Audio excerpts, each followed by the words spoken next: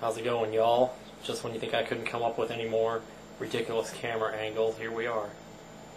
Well, not that I'm particularly renowned for coming up with interesting camera angles, but there goes my monitor again. That's my computer monitor, by the way, and that's my final, my Final Fantasy XII license board chart. Anyway, today is January 27th, 2008. And today's a really special day for me. In fact, actually, this day is about as important to me as probably, probably even more. Well, I don't know if it's more important than, but it's about right on par with my birthday as far as like most important personal days of the year. And uh, the reason for that is because of this right here. This is my very first private tape, which that's what I called them at first, private tapes, and then I called them diaries on tape, and then I called them audio diaries, and then I called them whatever. But you might just say that they were the origin of vlogs. It wasn't video logs, but it was voice logs. And as you can see, I have a speaker here. That speaker is attached to a tape player. Here's another tape. You can't even read that. Well, yeah, you can read this side. It's February 24th, 1992. It's really hard to read this one, though, but that's that's my first one ever, and today marks the 16 year anniversary since I recorded this. So I thought, well, what the hey, I'll play it. We'll just listen to about a minute, that's all. I'm not going to sit here and make you listen to the whole freaking thing, but it's about 20 minutes long. Hello, this is Timothy Bishop, January 27th, 1992. This is to be an extremely private tape, and I suggest now that if this is not Timothy Bishop listening to this, I suggest that you turn this tape off right now. This is extremely confidential information, and Timothy Bishop does not want you hearing this. So if your name is not Timothy Bishop, and you don't live in Commerce, I suggest that you stop this tape right now. I'm the worst lip syncer. Okay. Now let us begin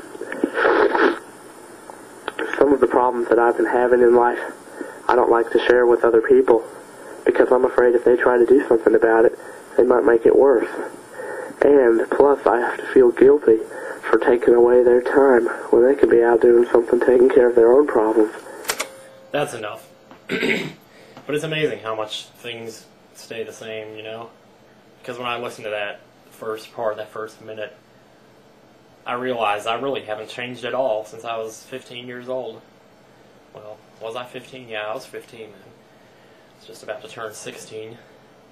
Yeah, so, uh, I don't know, I just thought that'd be interesting to throw that out there and let you in on a little secret, let you hear what I sounded like when I was 15. I was pretty, like, I don't want to say the G word, but I was pretty gay on these tapes. This one right here, it starts off, I say, I'm just tickled to death that I get the opportunity to do this again. I'm like, tickled to death? What kind of a guy says I'm just tickled to death? You know, and I, I did it again later in the tape. I was like, oh my gosh, I didn't think he was going to be there, but he was there. I was so tickled. There it is. There you have it. There I said it. There I've done it. Like that country song, I tell you. Yeah, this thing is kind of old. I actually stole this from Virginia when I left, but yep, it belongs to uh, Nick. Anyway, so there you have it. Um, my right wrist started hurting at work today. It feels a little better now, but it's been like, it's been about nine months, possibly a year, since the last time that this happened.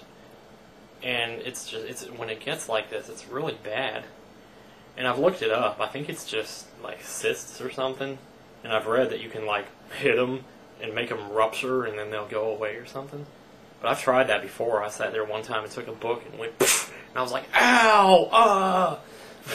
it's just, there's nothing more funny than listening to somebody say ow after hitting themselves. Like, what are you doing, jackass? But, but I don't know, I've tried that and it hasn't really worked too well. But the weirdest thing about it is that it'll get to a point where, like, if I make the slightest move with it, it hurts. And when I would go in to start the car, when I would turn the key to start the car, it would hurt to do that and I had like when it would happen to my left wrist, I'd get in the car and I'd try to close the door. It would hurt to do that. It would hurt to pull the door shut. And it's just like I mean, you can't function if your wrists can't handle even that much pressure. But you know, and so when you think about it, it's like, well, if it's if it hurts just from that much pressure, there must be something seriously wrong with it. But I know there's not because two days from now it's going to be back to normal, and I'm going to be able to do anything I could with it, or just I'm going to be able to do everything I originally could with it. So, and if it was broken, it wouldn't just be better in two days. It wouldn't get better and then get worse and then get better and then get worse. If it was broken, it would just be bad all the time. So whatever this is, is like arthritis or something. I don't know. I don't know what could possibly cause that. I mean, pain is not spontaneous, right? I mean, it has to be caused by something physical. Today was the day I just wanted to get through. I got two more days of work and then I got three days off in a row.